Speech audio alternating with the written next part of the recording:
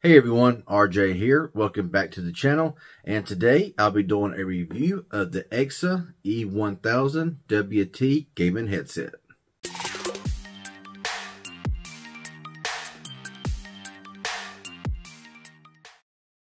Okay, so first things first, I want to give a special thanks to EKSA for sending this headset out for review. Now, it won't be necessarily an unboxing because there's no headset in the box, nothing like that. Uh, I've already been using it, testing it out, but I want to tell you what this headset includes, what it does, its functions, uh, the sound quality, based on my opinion, I'll do a sound test with microphone and all that kind of stuff. So yeah, let's go ahead and get right into it. Now, this is a wireless headset and the price on this is very reasonable. Around $69.99 on Amazon. You can occasionally get 20 bucks off of that. I will have links down below in the description. Uh, if you want to buy them, they're not affiliate links. I get nothing for that. It's just there in case you want to find it a lot easier and you can apply discount codes and stuff like that. So yeah, want to throw that out there. So these here are the EKSA E1000 WT wireless gaming headset. It says it's got an EKSA Voice Pure ENC, EKSA 7.1 sound base. There's your USB dongle. There's your headset for PS5, PS4, Xbox One, S and X, Switch, and PC.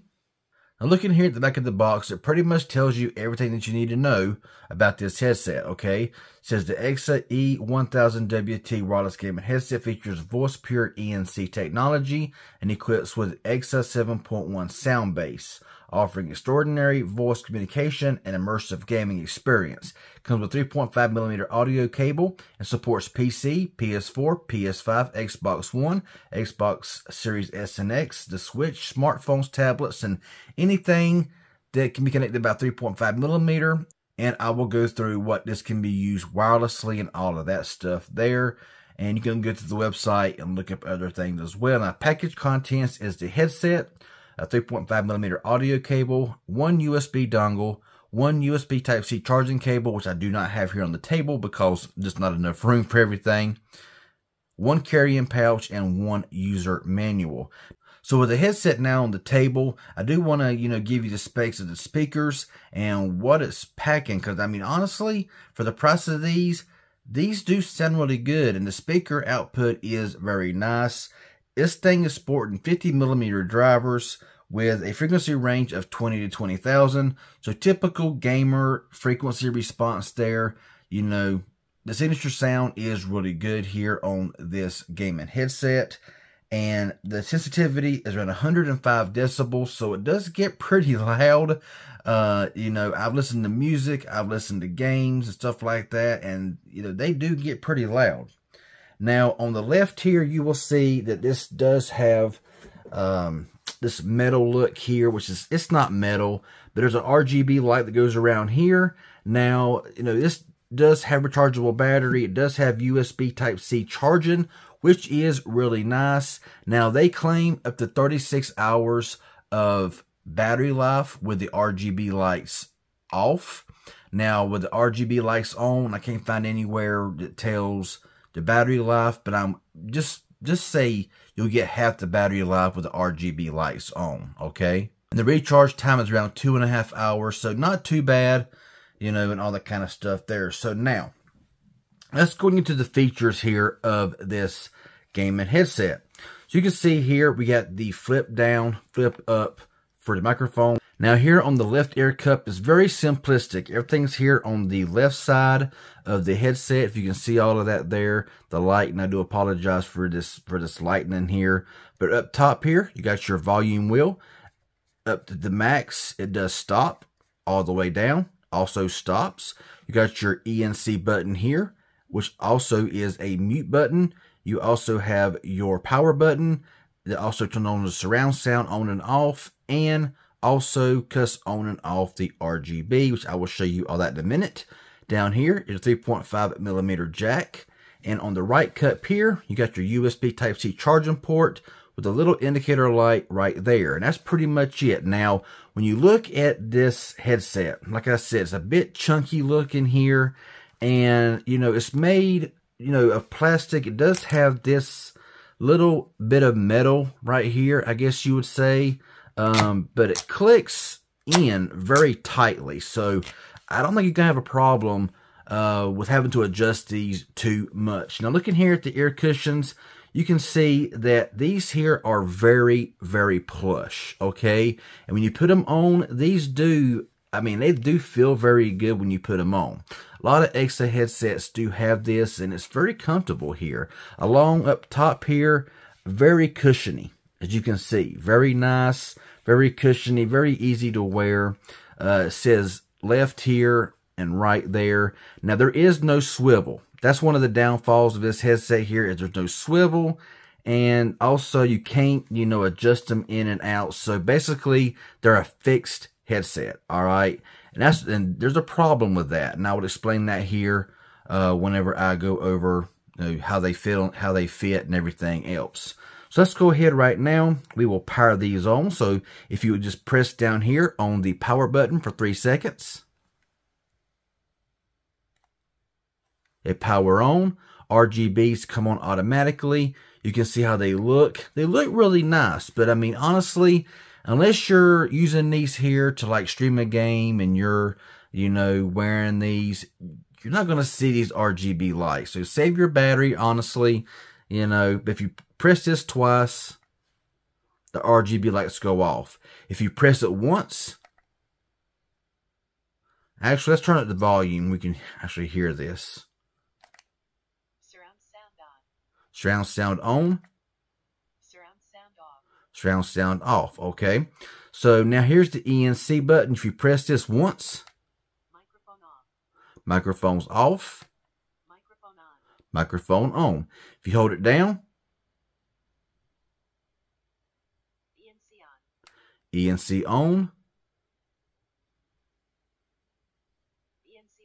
ENC off. Now, there is a way in here I'm trying to remember. like I say, uh, two buttons do basically everything. So yeah, now double tap again. Of course, if you want your LED lights or your RGB lights here to be on. And, you know, that's pretty much it just for the looks um, of this headset. You know, I mean, you know, it does have really nice bendability here. I don't really hear much creaking, you know. I mean, it does seem to stretch out. I mean, if you got a big old head, I mean, you can stretch them out here, and I don't really see any creaks and rattles, nothing like that. These are very durable. EKSA makes some really good headsets, if if I'm being honest here. Now, I was thinking this might be a flip up to mute, but it's just not. Okay, you flip it down if you flip it up, you're still going to be able to hear. you know, you got to make sure that if you want your mic to be muted, that you push the ENC button to turn off microphone. Okay, there's nothing lit up here, nothing like that to show you that it's off or on. You got to just hope that it is muted. All right, so that is the basic functions there, you know, of this headset. 3.5 millimeter cable here. This is for Xbox, and I you know, I'm not able, you know, this is the dongle that it comes with, okay, for PS4, PS5, and PC. Um, unfortunately, I I was not able to test this out. You know, I'm waiting for the day for EKSA to actually make a Xbox certified wireless headset. You know, I've asked them about it. You know, I told them that I think it would be a great idea if they would do that. But all their headsets that are wireless is for PlayStation or PC. So hopefully one day soon they will make one for Xbox compatibility. Um, and they just power it off. Okay, just like that. Okay, by themselves. So anyway, now I do want to show you this here. So if you was to power these on, this is one major downside. So if you use the 3.5 millimeter to plug into your Xbox, Let's plug this in now. The whole thing cuts off, okay? You can't use the ENC. You can't use the mic on or off. You can't use the RGB lights. You can't use the surround sound. You can't do anything, okay? You can hold down the power button as long as you want to, and it won't do anything. Okay, so this is where I'm going to give you my thoughts and opinions and do the microphone test and just give my thoughts of the signature sound that I am getting with this EKSA headset. Okay, I have used it on Xbox using 3.5 millimeter, and I'm looking down right here because I do want to get a lot of things accurate. Now, I'm gonna go ahead and tell you right now, I am not a professional when it comes to gaming headsets. Okay, I do the best I can. I use a lot of gaming headsets, but I'm still not there yet when it comes to professionalism when it comes to this. So just bear with me, and I keep this as short as possible. Um, but yeah, like I said, you know, 36 hours. That's a long time on a battery, you know, with the RGBs off. And like I said, if you're not, you know, on a PC with a camera shining on you, keep them off because honestly, you can't see them anyway. So the ENC, I believe, means electronic noise cancellation for the microphone. It's not like ANC where, you know, it completely cuts out the background noise when you're wearing these. It's supposed to cut out around 96% of background noise on the microphone. I wasn't able to test that out because it's available on PC, which I don't use. I don't own a PlayStation 4 or 5. So I can't test those features out. Unfortunately, I wish I could, but I can't. Now, right up here on screen, I'm going to show you because EKSA does have a sound-based software for PC only. Now, you can go in here and customize, as you can see, you can customize the EQ, you can customize a bunch of stuff with their online Windows software, and it does say that the EKSA sound-based software supports Windows only. Now, if you was to save your preset. I'm not sure if that will carry over to a PS4, PS5. I'm unaware of that. I don't know. I don't see that anywhere here. Um, I'm guessing it's maybe for Windows only or for PC use. But, you know, the the soundstage, the signature sound for these do sound really good. They got really good bass. They got really good treble. You know, it's not overpowering bass. It's a, it's a good sounding bass. And EKSA really has their, you know, their soundstage set pretty good, you know, just from the get-go. You know, plugging into the Xbox with 3.5, microphone sounds crisp. The sound sounds really good. But where my biggest problem is, is the fit okay? When you put these on, you know, it cuts out some background noise. However, since they're not able to be twisted around and you're not able to adjust it, you get a lot of pressure points on the back side of the ear cups, okay?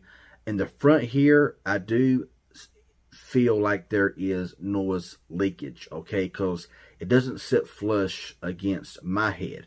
Now, if you get everybody's head shapes differently, so we got smaller heads, different shaped heads, or whatever.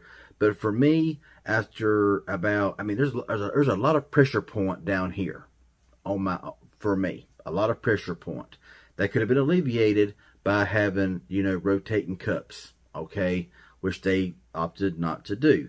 When you put now with the microphone, when you pull it down, you know, this is typically how I wear my headset, and it's right in kind of your field of view. And it doesn't bend very well. It does bend, but it kind of pops back into place a little bit here, and you can kind of adjust it to your mouth or away from your mouth or whatever you want to do. Microphone sound test coming up here very shortly.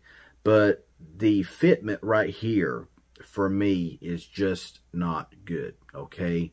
Uh, it's an open space. It lets noise leak out, but still, they do sound very solid, okay? But I do believe, you know, that it will fit some people just fine. But for me, a lot of pressure points going from the back all the way down here to this area here. It's not very comfortable for long playing sessions. They may need to implement some rotation, some cup, I mean, I can feel it in my jaw right now for wearing it for just a minute or two. So comfort, I would say, you know, out of 10, I would give comfort a 6 um, just because of that reason right there. Now, some of the cons, okay, and this is a biggie for me. I play on Xbox Series X only, 3.5 millimeter, okay. Nothing is able to be used when you hook to a 3.5 millimeter, which is on Switch. If you're on Xbox, there is no setting, okay? You cannot mute your mic. You cannot turn on the RGBs. You cannot use the 7.1 surround sound. You cannot use the ENC for the microphone. You can use nothing, okay? You can mute nothing. If you are using Xbox and you are talking to a party, you have to literally pull the 3.5 out of the bottom of the controller to disconnect because you can flip up the mic and people will still hear you. Okay, so in my personal opinion, it was not implemented very well in this headset in that in in that factor okay for the xbox now i know it's not it says it's for xbox switch whatever goes for 3.5 millimeter but it's not executed very well to where you can't even mute your mic you know anywhere. Not even in the cable is there anywhere you can mute anything you know. The volume works and if you want to just voice the chat on xbox you have to go into the xbox system and do that manually. So not xbox friendly at all. The same applies with the switch so now i'm gonna go ahead right now i gotta change phones to a 3.5 millimeter to give you a microphone test so let's go ahead and see how that sounds okay so here is a sound test this is the audio you will get with 3.5 millimeter with microphone. Okay, it does not come with a windscreen, or I didn't see it in the box or anything like that. Now, if I go up to mute, you know I can't mute it. There's nothing I can do. You can still hear me talking. So back down here again, I said you can bend this down and you can adjust it, you know, and if it bends back up, whatever. But this is you know, the sound test of the EKSA E1000 WTs using 3.5 millimeter. This is what it's going to sound like on a Switch. It's what's going to sound like on an Xbox Series X and S or Xbox One. Um, here it is. Uh, now there's no windscreen. There's a windscreen, it might help out a little bit if with it popping and uh, depending on how you talk and stuff like that. But uh, yeah, what do y'all think about the sound test here? microphone quality of this EKSA headset. I think personally, for the price of around 50 bucks, you know, of course, it's going to sound different, you know, with a dongle on a PC, PlayStation, you know, usually 3.5 millimeter doesn't mean a better sound than through a dongle. But yeah, how does it sound? Let me know. I like to hear from you. So there you have it. There is the EKSA E1000 WT wireless gaming headset. Um, really nice. Okay. I mean, you know, if you got a smaller head, different shaped head, it might suit you just fine. I think for the normal price of $70, it's not bad. But, you know, a few dollars more, you might you can get one that's going to be compatible with Xbox, PlayStation, all of those. Um, but if you can get it for a price of around $50, you know, or maybe less, and you're able to use it wirelessly, you know, the signature sound, really good. I mean, I can play games. Everything has got some, it's got some nice, good deep bass, got some nice highs. It just overall sounds good. Like I said, EKSA has one of the best, in my opinion, has one of the best signature sounds. Not sure how they do it, but keep it up because I mean, it's working. Um, but if you're wanting this for Xbox, you know, or the Switch, you won't use it wirelessly, it ain't gonna be the headset for you. Many drawbacks if you are an Xbox player. Um, look look elsewhere. I mean, hopefully EKSA one day will make a Xbox certified wireless headset where I can really thoroughly test it out uh, with 3.5 with a dongle microphone, all that kind of stuff, give you my opinions on it. But overall, I would say for a price of around 50 bucks, with all the features it has, being able to go in there with their system uh, software and be able to change equalizers to make it sound even better than it does already. Um, you know, it's very hard for me to tell you you know what's good and what's not when it comes to sound quality because we're all different. Some of us like really high highs, some of us like really boomy bass, some like just a flat natural sound. Um, but overall, you know, other than the fact that you know there's no swivel, it's a fixed fixed headset, Build quality seems to be solid. I mean, uh, yeah, you could throw these around and these are built like a tank. And I really believe these would do a really good job. But I'll leave it up to you. You know, uh, links are down below in the description. Like I said, not affiliate. I don't get paid nothing for you to click these links. But it helps you out to save money. So be sure to check those out down below uh, in the description. So yeah, that's my review of the EKSA E1000 WT. If it's helpful informative in any way, hit that like button. Any questions you may have, leave it down below. If you're new around here and you haven't subscribed, please consider subscribing and hit that bell for all notifications of future videos to come. I'd really appreciate it. Y'all have a good one, and thanks for watching.